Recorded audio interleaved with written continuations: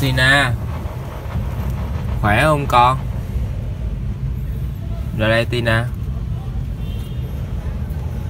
Khỏe không? Con khỏe không con? Tina ơi, Khỏe không? Tina nhớ Tion hả?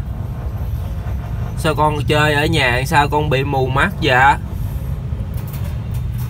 Để tôi mở cửa cho con ra nha, Con bị nhốt vậy luôn hả? Tiêu đã nói con rồi. Làm thân thú mình phải tập luyện. Mà con không nghe lời của ta, Con cứ di chuyển hoài. Tội nghiệp Tina quá à.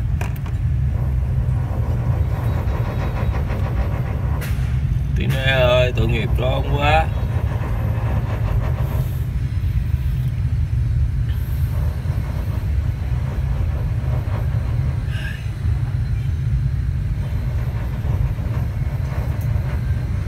Các bạn ơi biết bé Tina này không? Bé Tina này là được một người bạn của Tion đi Nhật Bản. Nên không được mang thú qua Nhật Bản. Nên chị ấy phải gửi uh, bé này lại cho Tion nuôi.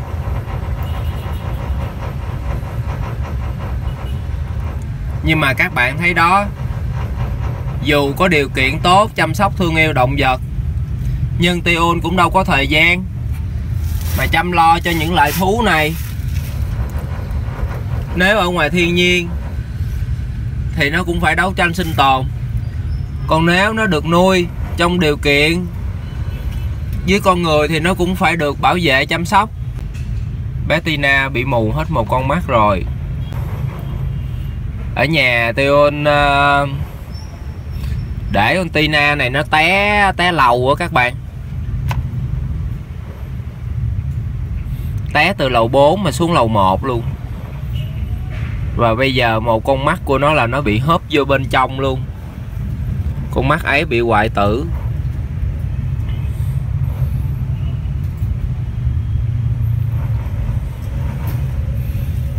Đồ ăn của nó hết luôn rồi, cũng đâu ai cho nó ăn đâu nè. Không có thời gian mà cho nó ăn. Các bạn thấy không? Con người không thể chăm sóc cho loài vật được. Chúng ta chỉ có thể chăm sóc cho lẫn nhau thôi. Còn loài vật, loài gì nó sẽ tự chăm sóc cho loài đấy. Nên, mình không được dành môi trường thiên nhiên với loài vật phải để cho nó tự do, nó sống ngoài thiên nhiên. Đừng có bắt hại nó, phải yêu thương nó nó đói thì mình cho nó ăn, nó khổ thì mình cho nó uống. Chăm sóc nó. Buồn quá hả con?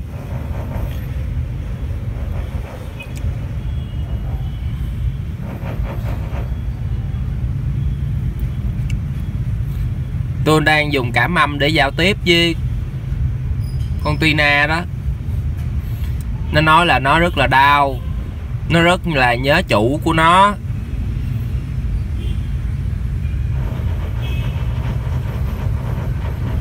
Tina nè. Con phải ráng tu thân đi, Tina. Đừng có buồn nữa. Tu thân đi. Để thoát khỏi cái thân thể này, hiểu chưa con? Con đừng nghĩ con là con sóc nữa. Con làm ơn. Dùm Tion đừng nghĩ con là con sóc nữa. Cũng đừng nghĩ con là con người nữa. Khi thần thức của con thoát ra khỏi cái thân này, con phải đi về nơi có ánh sáng liền cho Tion nha. Tion sẽ giúp con. Tion đã gieo duyên với con rồi tôi sẽ giúp con. Đừng buồn. Con hiểu vậy là tốt rồi đó, Tina. Ai biểu, ở nhà, chơi, chạy, té cầu thang chi? Cái đó là cũng là nghiệp của con. Để cho con bình tâm lại. Con đã thấy được nỗi khổ trên thế gian này rồi, đúng không? Cũng may con chưa biết tình cảm luyến ái là cái gì, nên con sẽ rất dễ giải thoát hơn những con người. Càng có nhiều kiến thức thì người ta khó giải thoát lắm. Người ta bị chấp vô đó, chấp vô hình tướng, chấp vô suy nghĩ. Hôm nay ta chỉ cho con, để con mau sớm được giải thoát nha Tina. Ta biết con không còn sống được bao lâu nữa bởi vì trong não của con đã chứa máu bầm. Ta xin lỗi. Ta cũng không thể dùng khí công để chữa bệnh cho con được. Tina Yên tâm đi, Ta sẽ giúp con giải thoát.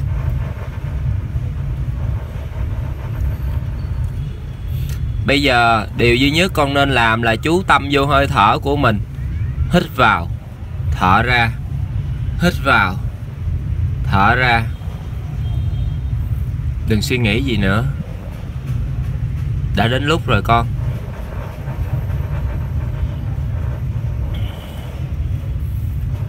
Đã đến lúc rồi. Đến lúc con phải tập. Hành thiền để giải thoát rồi con à giải thoát khỏi nỗi khổ thân tâm ta xin lỗi nha, Tina. Ta không thể chăm lo được hết cho tất cả loài vật đâu. Chỉ có những ai có duyên với ta ta mới giúp được thôi. Người cá còn có sứ mạng của mình nữa mà. Không thể lo cho con hết được. Con đừng buồn, Tion. Con thương Tion lắm à bỏ ngay cái tình cảm thương ấy. Không cần phải thương ta. Lo thương bản thân của mình. Lo chú ý vô hơi thở. Nhớ chưa, Tina? Luôn chú ý đến hơi thở để giữ chánh niệm.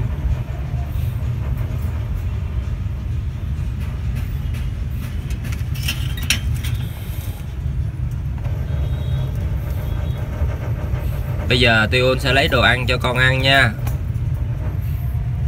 Tina phải bỏ tham ăn nữa. Con ăn nhiều quá à. Con phải bỏ đi cái tính tham ăn nữa. Con mà cứ thích ăn hột hướng dương hoài là con chết đi á. Con cũng bị đạ nữa. Thành những loài vật thích ăn hột hướng dương là lại thành cái con sóc Bắc Mỹ nữa là chết. Phải coi đồ ăn là để ăn, mình để sống thôi, biết không con? Không được yêu thích thức ăn. Con phải chịu khổ như vậy. Thật là tội. Hôm nay á, lại có người kêu Tion muốn mua rái cá. Hai con rái cá lớn đã bị bắt nữa rồi. Và cái giá là 6 triệu đồng. Tôi đang suy nghĩ có nên mua nữa hay không. Không biết tìm nơi nào để thả nữa. Khi con người thế gian này càng ngày càng ác.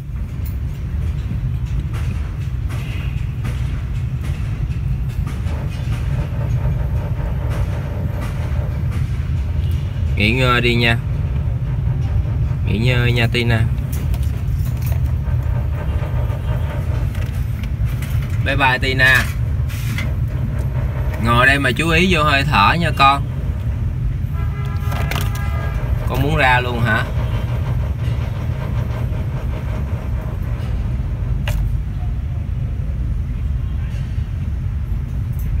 Tina ơi. Đừng đi theo Tion mà. Tina nó đang xin Tion cho nó đi theo á các bạn bởi vậy hiểu được suy nghĩ loài vật mệt không? Rất mệt. Bởi vì mình cảm được cái suy nghĩ của nó, mình biết nó muốn gì. Mình thấy nó khổ mà không thể giúp nó. Chỉ có thể khuyên nó.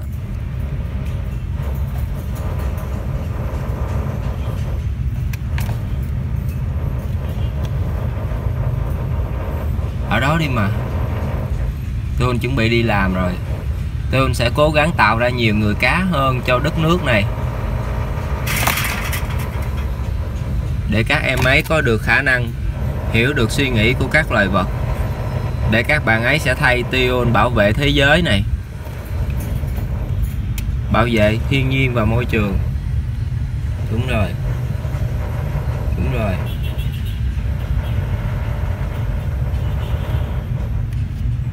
Tion không thể ở lại đâu.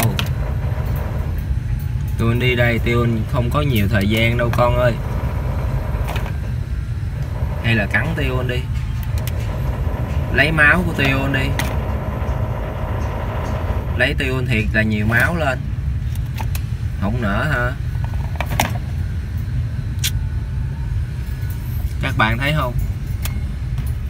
Con vật nó thương tiêu như vậy đó. Con nào cũng vậy rồi Tion sẽ cho các bạn xem khả năng đọc được suy nghĩ của tất cả loài vật thế giới trong tương lai để các bạn hiểu được rằng trở thành người cá là như thế nào nha.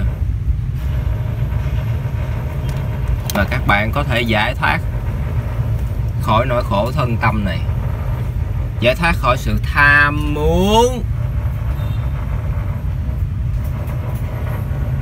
sự tham muốn là không tốt. Vì Tina, con còn tham muốn nên con bị nghiệp đó con.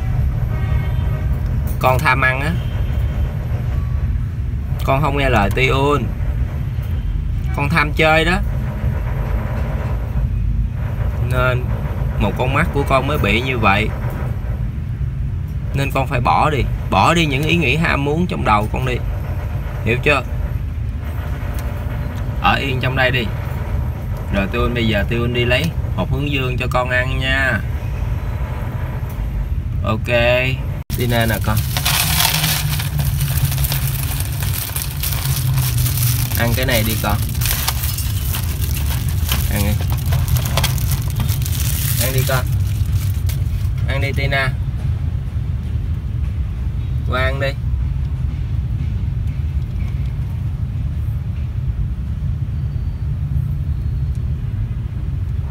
Còn thấy ngứa ngáy trong người lắm hả Tina?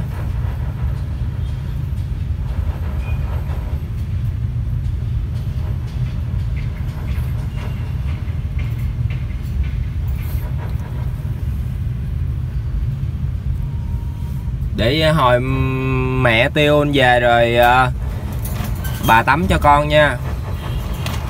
Tại bà nhận trách nhiệm nuôi con mà. Mà bà lại để cho con bị té cầu thang như vậy bà cũng không muốn đâu.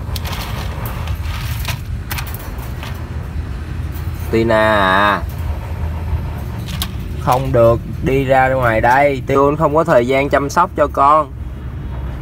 Bởi vì con không có nhiều trí tuệ.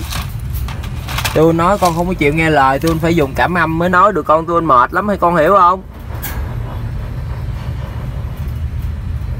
Để sức tôi còn làm việc nữa con con đuối lắm rồi đó.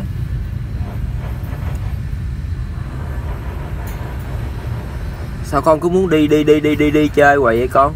Con mắt bị vậy, con còn chưa chưa buồn nữa hả?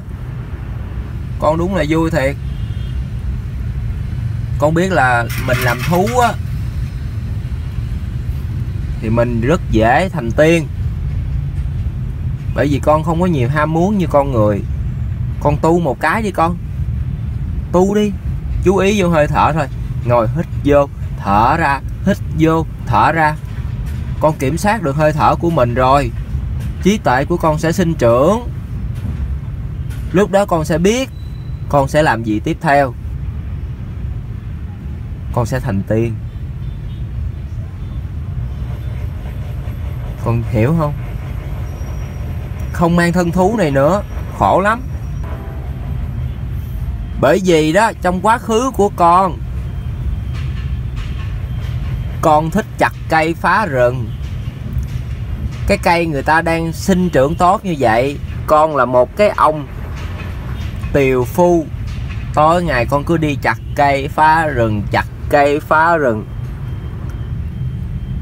Giờ con phải mang thân một loài sóc gặm nhấm, sống trong cái những cái hốc cây để con thấy được cái giá trị của từng cái cây. Con sống trong cái cây như vậy, con mới biết yêu quý, thương yêu, bảo vệ cái cây. Rồi vai trò của con trong tự nhiên là con làm cho đất tơi xốp, làm cho cây phát triển xanh tươi. Con giúp cho những cái cây được ươm mầm. Những cái hộp con ăn rồi con nhả ra, con tha xuống đất. Nó sinh trưởng lên thành những cái cây khác vai trò của con trong tự nhiên là như vậy.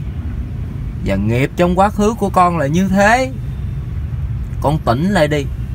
Con hãy nhớ lại quá khứ của mình đi. Cũng đừng mong làm con người nữa. Có con bây giờ nè. Con bị nhốt trong cái lòng như vậy nè. Không ai dám thả con ra. Tuy ôn chỉ khuyên con khuyên con chú tâm vô hơi thở. Chú tâm vô hơi thở. Hít vào.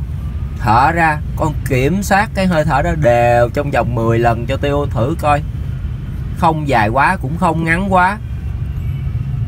Không để vô thường xảy ra trong hơi thở của con.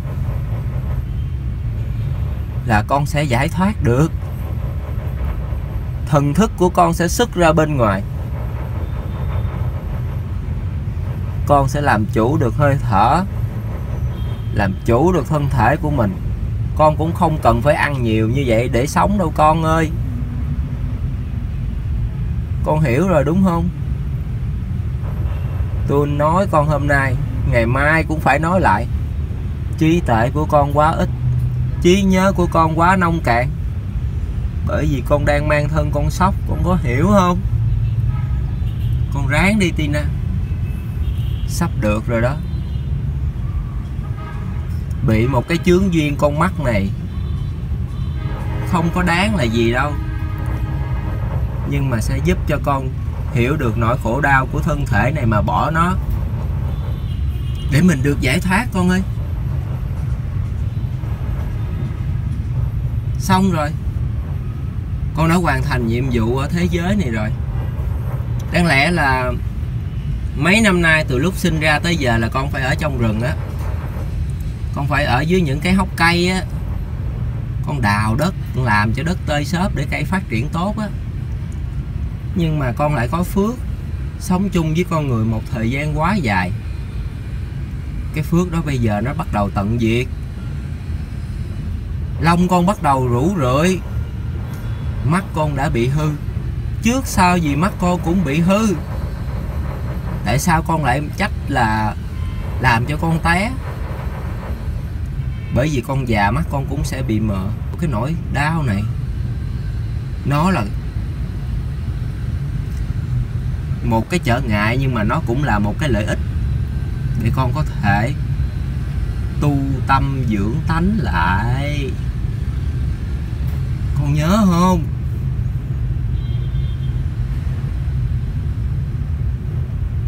Vậy nha tôi đi á.